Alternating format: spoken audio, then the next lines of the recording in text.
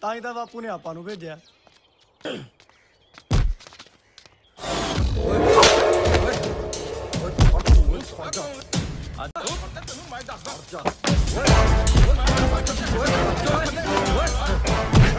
ਮੈਂ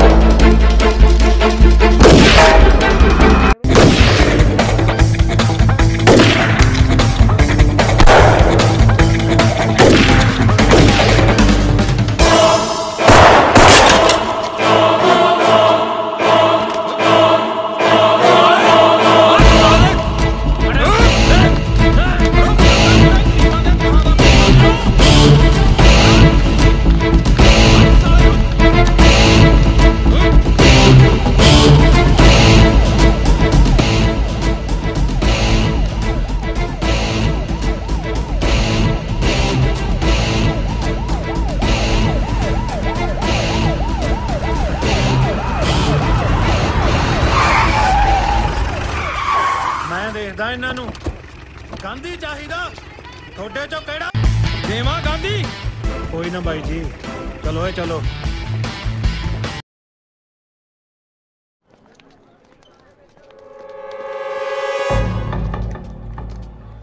ਕੀ ਗੱਲ ਹੈ? ਤੁਸੀਂ ਮਨਿੰਦਰ ਦੇ ਕਾਗਜ਼ ਪੜ੍ਹਤੇ? ਅਸੀਂ ਤਾਂ ਐਂ ਹੀ ਕਰਾਂਗੇ। ਲੈ ਹੁਣ ਕਰਿਓ ਫਿਰ। ਅਸੀਂ ਤਾਂ ਕਰਤਾ ਜਿਹੜਾ ਕਾਂਡ ਕਰਨਾ ਸੀ। ਹੁਣ ਤੁਸੀਂ ਕਰ ਲਓ ਜੋ ਕਰਨਾ ਹੈ। ਠੀਕ ਹੈ ਪੁੱਤ। ਇੱਕ ਘੰਟੇ ਬਾਅਦ ਇੱਥੇ ਸਟੂਡੈਂਟ ਸੈਂਟਰ ਮਿਲਦੇ ਆ। ਤੂੰ ਕਰ ਲੈ ਜਿਹੜੇ ਲਗਾੜੇ ਇਕੱਠੇ ਕਰਨੇ ਨੇ। ਠੀਕ ਹੈ ਮਿਲਦੇ ਆ ਫਿਰ। ਸਰੀਰ ਟੁੱਟੀ ਜਾਂਦਾ ਯਾਰ। ਕੋਈ ਨਹੀਂ ਕਰਦੇ ਆ ਕਾਇਮ। ਆ ਲੈ ਬਈ ਅਖਬਾਰ। ਬਾਈ ਗੱਲ ਸੁਣ। ਪਾਣੀ ਸਿਰ ਦੇ ਉੱਤੋਂ ਦੀ ਲੰਘ ਗਿਆ। ਹੁਣ ਤਾਂ ਆਪਾਂ ਨੂੰ ਕੁਝ ਕਰਨਾ ਹੀ ਪਊ। ਮਨਿੰਦਰ ਨੂੰ ਕਹਤਾ ਡਿਪਟੀ ਕੋਲ ਜਾ ਕੇ ਬੈਠੇ। ਪਰਚੇ ਤੋਂ ਬਚਿਆ ਰਹੋ। ਉਹ ਤਾਂ ਮੈਂ ਕਹਤਾ ਬਈ। ਹੁਣ ਤਾਂ ਆਪਾਂ ਨੂੰ ਹੋਲੀ ਖੇਡਣੀ ਪਊਗੀ। ਉੱਠ ਆ ਦੇਖ ਸਾਲਾ ਚਿੰਪੈਂਜੀ ਜਾ ਕਿਵੇਂ ਭਾਂਡੇ ਚੱਕੀ ਪਿਆ ਤੁਹਾਨੂੰ। ਇਧਰ ਆ ਓਏ। ਭੈਣ ਦੇ ਯਾਰੋ ਆ ਖੜਾ ਤੁਹਾਡਾ ਪਰਾਉਣਾ ਹੁਣ ਖੜੇ ਕੀ ਦੇਖਦੇ ਹੋ? ਆਓ ਕੱਲਾ ਕੱਲਾ ਗਰਾਊਂਡ 'ਚ।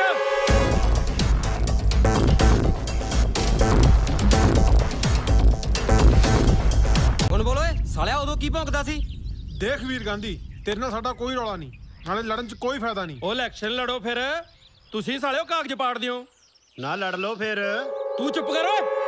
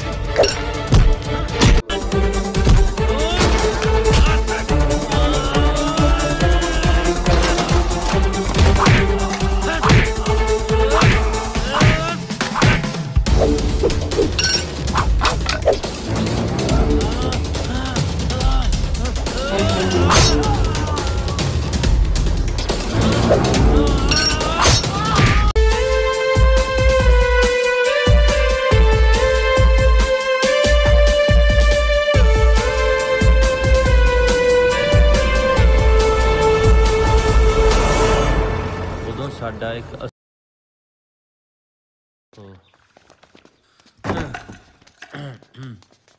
ਲਿਆ ਭੋਲੇ ਬੋਤਲ। ਗਲਾਸ ਤਾਂ ਧੋਲੀਏ ਬਾਈ। ਉਹ ਆਪਣੀ ਆ ਰਾਤ ਵਾਲੇ। ਐਂ ਕੀ ਹੁੰਦਾ?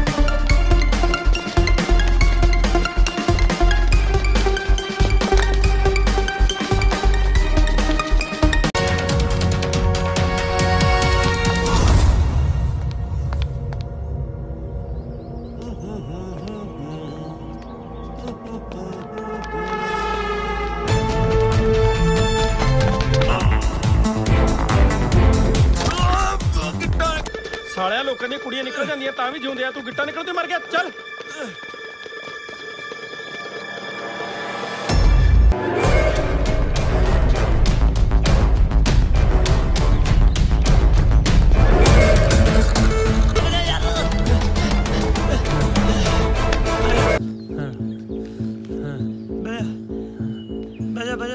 ਜਾਣ ਦਿਓ ਨਾ ਮਲੰਗਾ ਨੂੰ।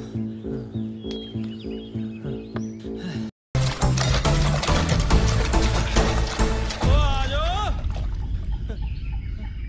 ਦੇਖਦੇ ਕੀ ਹੋ ਫੜ ਲਓ ਹੁਣ। ਓ ਆ ਜਾਓ ਯਾਰ ਖੜੇ ਆ ਇੱਥੇ ਫੜ ਲਓ ਹੁਣ। ਕਿਉਂ ਵੀਰੇ ਜਾਣਾ ਪਾਣੀ 'ਚ? ਇਹਨਾਂ ਦਾ ਕੀ ਪਤਾ ਕੀ ਸੱਪ ਕੱਢਣ? ਤੂੰ ਚੱਲ ਚੱਲ ਆਪਾਂ ਆ ਜ਼ਰੂਰ ਜਾਓ। ਲਪੇੜਨੀ ਆ। ਚੱਲ। ਵੀਰੇ ਸਤਿ ਸ੍ਰੀ ਅਕਾਲ। ਤੂੰ ਗੱਲ ਦੱਸ ਕੀ ਆ? ਵੀਰੇ ਇੱਕ ਮੁੰਡਾ ਮੇਰੇ ਚਾਚੇ ਦੀ ਕੁੜੀ ਨੂੰ ਬਹੁਤ ਤੰਗ ਕਰਦਾ ਹੈ। ਚਲਾ ਬੈਠ ਗੱਡੀ 'ਚ। ਫੇਰ ਕੀ ਬਣਿਆ? ਮੈਂ ਉਹਦੀ ਬਾਹ ਫੜ ਲਈ ਉਹ ਤਾਂ ਰੋਣੀ ਲੱਗ ਗਈ ਯਾਰ। ਹਾਂ ਓਏ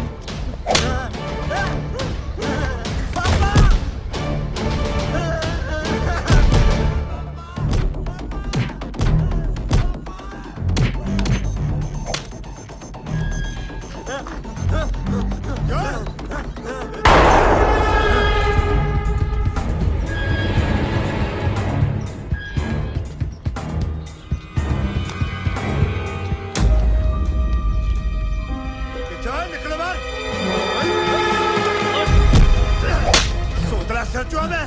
ਐਸਐਚਓ ਨਹੀਂ। ਮੈਨੂੰ ਤਾਂ ਤੂੰ ਸਾਲਿਆ ਡੀਜੀਪੀ ਲੱਗਦਾ।